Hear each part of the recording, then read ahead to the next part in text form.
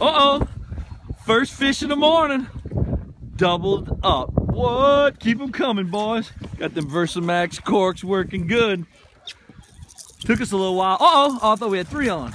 Uh, took us a little while. These fish got up on a windy bank. Uh, let's see. Nice one right there. Keep them tight for me. Uh-oh.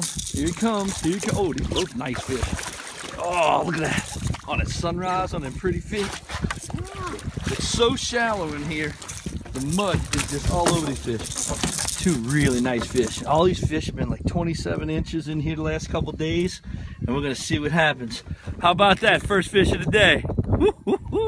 CaptainCharlie.com.